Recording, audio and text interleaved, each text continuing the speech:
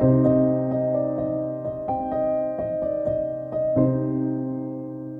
hi there, it's Sandy Allnock, and today I'm going to be doing something really crazy. I'm doing string art. I've never done this before, and I'm going to throw my friend Ellen under the bus. It's all her fault. And I'm using some letterpress cardstock along with these new dies from Ellen Hudson, and each one cuts out little holes in shapes. They don't cut out the shapes themselves, and each package, by the way, has twice the number of dies you see there because there's a whole second set behind each one. So lots of dies in these packages for the money that you pay for them. Each one I have die cut. It just makes the pattern in the, the shape, whatever the shape is. It doesn't cut out the shape itself. So now I've got a nice flat piece of paper with a bunch of holes in it and can string them up any old way. There's lots of different ways you can do this. And I'm just going to say it's Ellen's fault that I spent way too many hours on Google and Pinterest finding all kinds of beautiful ideas for string art. This was my very first one. It's the very first thing I tried. And I was curious to see how this was going to go. One of the things that looked really easy was to pick one spot on the end of one of the shapes, make everything radiate out from it. And that's what I did with the oval. And I did die cut the little circle, but I wasn't really sure what that was going to turn into. I didn't have an idea in my head, but I wanted to see what would happen as I started making these threads go around the whole thing. There are so many designs out there, and a lot of the people who do this string art take a board and they put a whole bunch of nails around the edge of it in whatever designs they want, and then they start stringing that. This is so much easier because look how even all of those little holes are. I would never get nails in a board even like that. So I'm kind of excited that we can do this with dies as well. Then for the inner circle, that little little one that I put in there, I decided I would make it also join at the base where that where everything else went through that one hole. But I only ended up going around to the top edge. And what this kind of made it look like to me was a feather with an interior part and an exterior part, which was very beautiful. It was I really didn't have any expectation how this was going to come out. It was just going to be my first try. And I have so many other things I want to do now. For this one, I die cut another piece of letterpress cardstock and used some dimensional adhesive to pop up a frame so that it would cover up all those holes. So you can either leave the holes showing or you can cover them up like this with another piece of paper. And then I added a little heart on some dimensional adhesive as well. And the heart is from yet another set of dies. My second one is going to be the circles. So I thought I'll try that one. And one of the things I saw in a lot of these different string art designs is circles that have almost a wreath going around the outside edge. Well, I counted the number of holes I had on the outside circle, which was 55, and then the number of holes on the inside circle, which is 44, and they don't divide evenly, so I couldn't really figure out how to make all these things join. But I did make 11 little tick marks on my paper. The reason is because this was the fourth time I tried doing this. And each of the other times was how I figured out this was not going to work out evenly because I, I kept running into a place where I, they just all got off. Like just nothing was working out right. So once I started with my little 11 tick marks, I made one row of the 11 going all the way around so that they were at approximately the right angle. There was no way to say I'm going to always skip three holes on the inside or I'm always going to skip four holes because it didn't work out that way. But this got me started. Then once I started filling in the rest, it was just a matter of filling in. And as long as they sort of ended up around the same place, then it all worked out to be a really beautiful wreath type shape.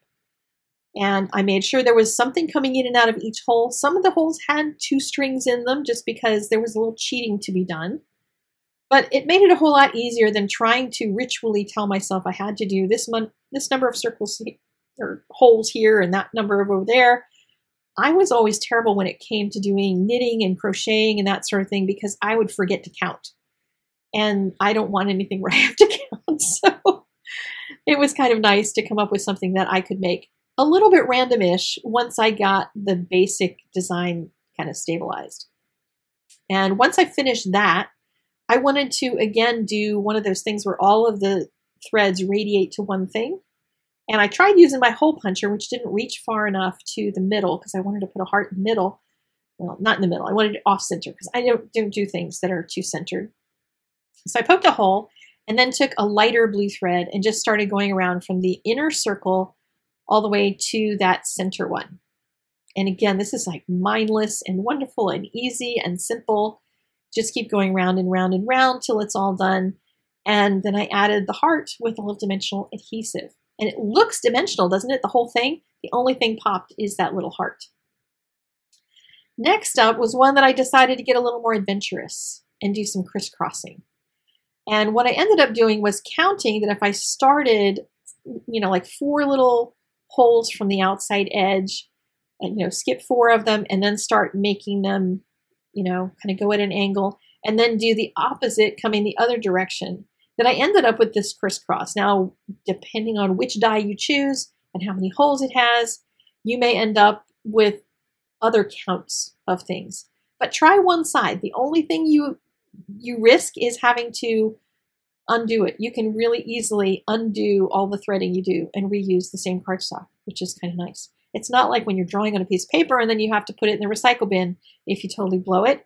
Here you just undo it and do it again. And it's, yeah, it's not that bad. So I'll go all the way around the outside edges, creating a beautiful pink border. And I reserved the corners because I thought it would be nice to do something different in the corners. And I saw lots of different designs that did different things with different colors and thought, man, I wish I could figure out how to do more exciting things than that. But, you know, such is life. When you're starting out on a new adventure like this, you can go for tutorials that are going to show you exactly what to do. And I debated it. I debated looking for string art tutorials that showed, you know, how to make certain kinds of patterns. And I may resort to doing that. But the thing that I found was so fun about this was making it up on my own because I could do whatever I wanted. And I didn't have to worry about being right because it came out pretty anyway. And all I had to do was unstring it if I didn't like it. So the corners I decided to do in an orange thread. And I just went from the outside absolute corner to each of the holes that didn't already have two strings going through it. And so that gave me an anchor for each one of the corners in a separate color. And then I used that color. I die cut another square out of the inside so that I could make another little radiating thing to the center to put my little heart in the middle. Now before I let you go, I want to show you the rest of the release in case while you're going to get these dies, you decide you need another stamp set. So here's one with cute little avocados that have arms and legs and faces and dies, of course, for those who love your dies. And what I decided to do was to make a couple of these little happy dancing guacamoles. And I did it just with inks and a little bit of water. These are Catherine Pooler inks. And it's on watercolor paper, so it gave me this really nice texture for the little guacamole dudes. And I didn't have the right colors for this. I didn't have a brown. I have no brown inks. I own none. It's weird. So I stamped an orange and then I stamped a blue over top of it and then mushed it with a little bit of water. So those of you who know your color theory will know why that is, orange and blue. So I did the same kind of thing with the sun and I painted my own sun rays around it. That's the same stamp as their bellies and painted a little bit of ground around them. And then I made my own little edges of cardstock out of some scrap stuff that I had messed up. so I used the back of it and made my own cardstock layers for that one. All right, next up, there's a darling little pinata. And if you are someone who likes to smash a pinata, then you might like this one.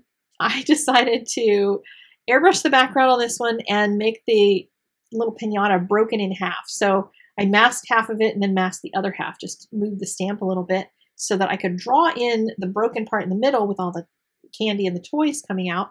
And I used another Ellen Hudson stamp set to add to it so that I'd have somebody down there with a handout catching that candy because don't let any of the candy hit the floor. I think that's illegal if it does. I didn't have time to make anything with the fringe dies, but check my blog because I might have something by now for it. And then is Squidward. This little guy is going to be my new best friend. He's so funny. And of course he has dies to go with him, but he's got sticks. And his little sticks, one stick has a shark fin so he can pretend he's a shark and scare boats, and the other has a Loch Ness monster on it, which is kind of hilarious. The way I made the background for this, I'll just explain real quick. I have no video.